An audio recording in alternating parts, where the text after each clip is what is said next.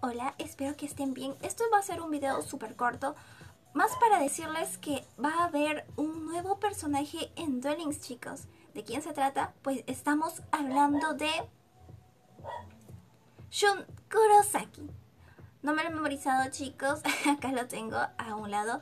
Pues este personaje va a salir en Duelings, Duelistas, no sé si ustedes ya lo conocerán, pues es de la era Arc B Supongo que los que ven el anime ya están al tanto de él y de los arquetipos que usa más que todo pues en los duelos, ¿verdad?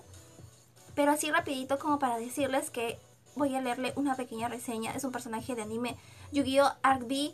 Él es un duelista de la dimensión Exit y es un miembro de la resistencia que originalmente atacaba al Instituto Leo de Duelo, junto a su compañero Yuto. Parece que es uno de los malos.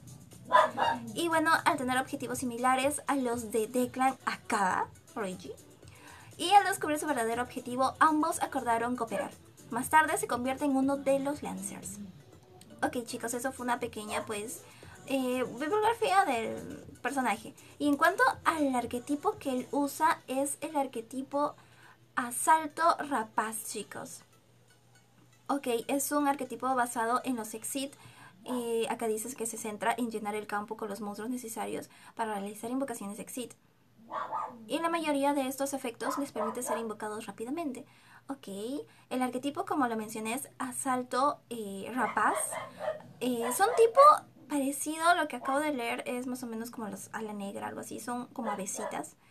Y bueno, ese nuevo arquetipo, ya saben que si viene un, eh, un ya saben que si viene un personaje nuevo, chicos, viene con su arquetipo, con sus cartas ya saben, tanto en cajitas normal como en estructura o hasta en los mismos eventos se lo regalan las cartas.